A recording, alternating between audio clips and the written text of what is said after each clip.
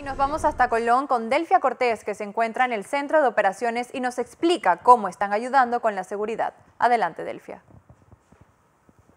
El Centro de Operaciones eh, de Vigilancia aquí en la provincia de Colón, de verdad que están dando un trabajo positivo frente a los casos que se están encontrando actualmente y por eso nos vamos a acercar aquí al mayor Juan Sáenz, quien es el coordinador, y precisamente lo vemos que él está aquí, se encuentran las cámaras de vigilancia. Mayor, bienvenido a NEX. Quisiéramos conocer en este momento con cuántas cámaras cuenta la provincia de Colón, porque estamos observando eh, cómo se están encontrando pues, los casos de sujetos que están, eh, en este caso, infringiendo las leyes.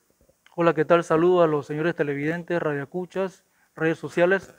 Efectivamente, el Centro de Operaciones Regional de Colón cuenta con un aproximado de mil cámaras y en aumento, con la finalidad de brindar seguridad mitigar la comisión de faltas y delitos en toda la provincia de Colón. Los casos que más se están observando veo que son los sujetos que se dedican al hurto de cobre, que también es peligroso. Correcto. Eh, con relación a ese tema, la tercera zona policial de Colón efectivamente continúa realizando operativos nocturnos en coordinación con el Centro de Operaciones Regional. Nosotros los orientamos a través de la videovigilancia y efectivamente ellos con los recursos emplazados en el terreno mitigan y aprenden y conducen ante la autoridad competente a estos ciudadanos que se dedican a estos temas del hurto de cables. Muchas personas han aplaudido estas cámaras, sin embargo han dicho por qué en momentos en que se da un crimen, de inmediatamente pues también no eh, sorprenden pues al sujeto o lo capturan.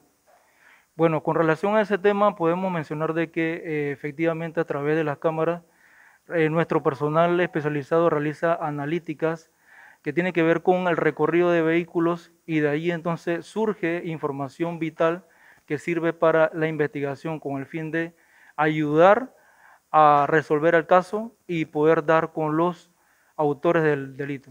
Todas estas personas que están aquí son los ojos de estas cámaras que avisan inmediatamente lo que están observando.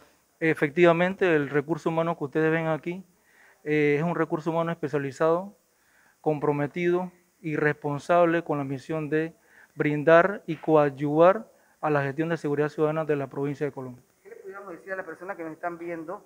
Si usted tiene, usted estaba observando algo, y usted quisiera llamar, ¿cómo hace para llamar a estas personas para que inmediatamente puedan hacer la captura?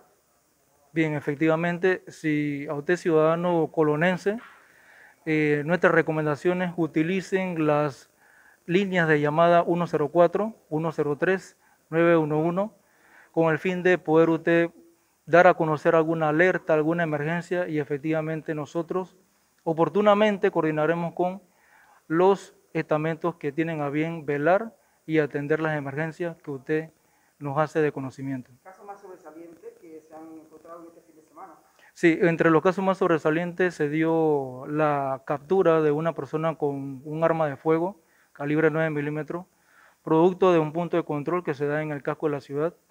De igual forma, se da la frustración de un robo en un domiciliario donde una de las niñas efectúa una llamada telefónica al 104, se articula los esfuerzos con la tercera zona policial de Colón e inmediatamente se frustra y se aprende a los ciudadanos y posteriormente son conducidos a las autoridades competentes.